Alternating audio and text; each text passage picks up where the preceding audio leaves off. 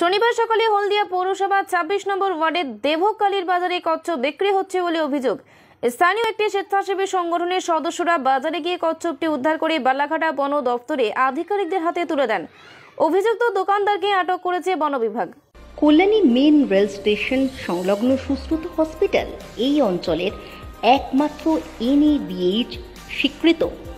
Multi speciality hospital এখানে আধুনিক প্রযুক্তি সহ রয়েছে তিনটি অপারেশন থিয়েটার আধুনিক অর্থোপেডিক অপারেশন আছে সমস্ত রকম সার্জারি জেনারেল সার্জারি এবং ল্যাপ্রোস্কোপি সার্জারির ব্যবস্থা।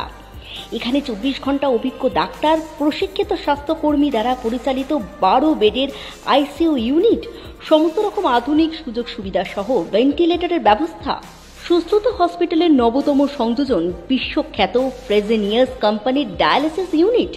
কল্যাণের বুকে অত্যন্ত কম খরচায় এই চিকিৎসার সুযোগ পাওয়া যাচ্ছে অভিজ্ঞ নেফ্রোলজিস্ট ডাক্তার স্বস্তিক পুরুকাইতের তত্ত্বাবধানে।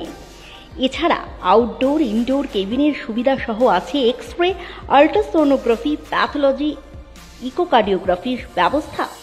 সুস্থতা হাসপাতালের উদ্দেশ্য হল সঠিক মূল্যে সঠিক পরিষেবা প্রদান করা।